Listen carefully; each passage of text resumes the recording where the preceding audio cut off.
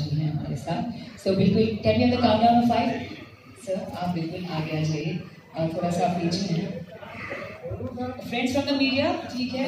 Sir please आप नहीं दिख रहे हैं। सर थोड़ा सा अगर एक मिनट अगर हम रुक सकें तो प्लीज़ मैं ना, मैं lovely go for the chairs please मैंने हटा दीजिए प्लीज़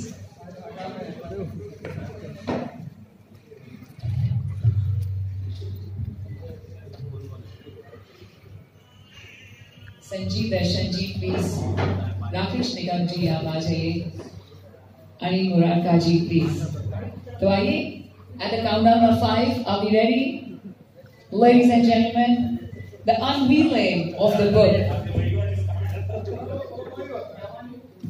रही ना रही हम महका करेंगे.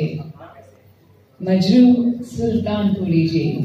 Pen down by Vijay Akela ji. Five can I have a countdown from all of you जहाँ प्लीज़ आ जाइए four louder three two heartfelt congratulations to Vijay Akela Sahab. बहुत बहुत मुबारक हो humble thanks to Javid Akhtar Sahab to be honest. मैं ma'am को भी बुलाना चाहूँगी मैम प्लीज़ आ जाइए प्लीज़ आ जाइए प्लीज़ यस मैम एक group picture sir Anil sir thank you Kamaljeet sir please launch तो होने दे भाई।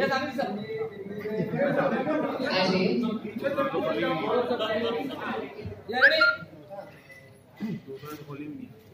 हमें नीचे बैठे सब नीचे बैठे मैं तहे दिल से शुक्रगुजार हूँ।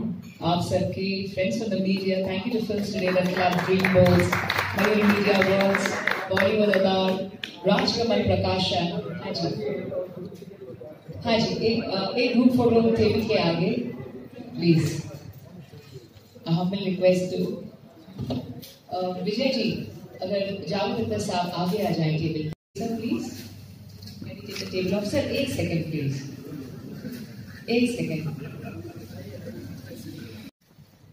Jaan please can we invite you Jaan Kumar सानू प्लीज़ आ जाइए सर आ गया? देख लिया।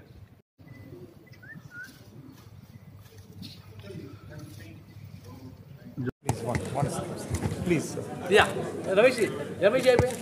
रमेश सीने बस्टर मैगजीन मैं देख सर क्या कहना चाहिए आज बुक लॉन्च के बारे में? ललित सर एक मैंने सुना नहीं मैं इतनी देर बोला। आज जो मौके पर पहुँचे हैं आप जावेद जी आप।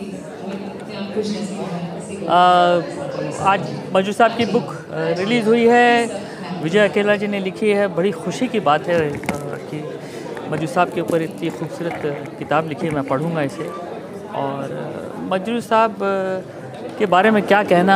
बहुत ही सिर्फ़ गुणी इंसान नहीं थे, बहुत ही अच्छे इंसान थे और मैं अपने आप को बहुत खुशकिस्मत समझता हूँ कि उनके साथ बहुत काम करने का मौका मिला, उनके साथ बहुत बैठने का मौका मिला, सीखने का मौका मिला और उन्होंने गाने लिखे।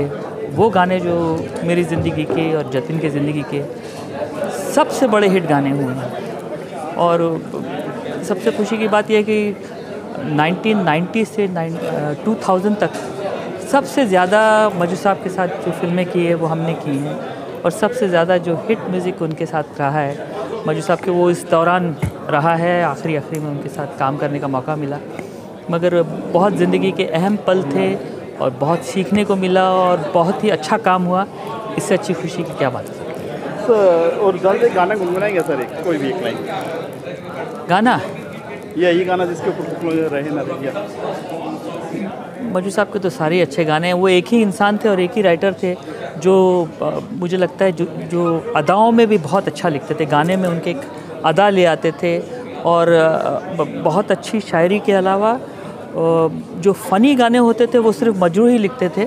आप उनके अगर गाने को फॉलो करें तो जो मस्ती वाले गाने हैं वो मजू साहब से अच्छा कोई किसी ने नहीं एक आप बस बस बस बस मेरे सर मुझे